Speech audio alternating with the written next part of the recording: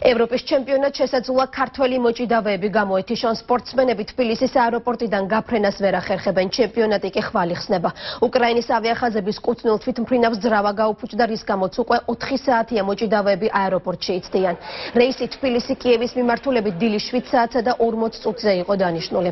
ამ დროისთვის ოფიციალური კომენტარები არ კეთდება ჟურნალისტებთან. საუბრისგან თავს იკავებენ აეროპორტის თანამშრომლებიც თავისუფალ ჭიდაობაში ახალგაზრდა ჭაბუკთა ნაკრები პოლონეთის ქალაქ კატოვ კატოვიცაში დაგეგმილ ჩემპიონატში გეგმავს მონაწილეობას.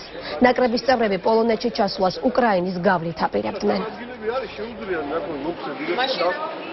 მოტორია დაზიანებული თვითრინავს და აკეთებენ გუშინდელს უკან ამ მოტორს და არ დაადგა საშუალება. ჩვენ კიდევ ვართ გუნდი, რომელიც მიეგზავნეთ ევროპის პრელობაზე და ხვალ თვარ ჩავედით, ფაქტურად ვერ მივიღებთ, ახლა პირდები ახალი მას პირდები ახალ მას პირდები და ჯერ ვერაფერი ვერ გაგვირკვიეს. ახლა გვეუბნები ვიტომ 4 საათზე გაფრინდებით კიევში და იქიდან ხვალ ვარშავაშია და ვარშავიდან კატოვიცეში მივდივარ და ეს ვერ გაგვირკვიეს.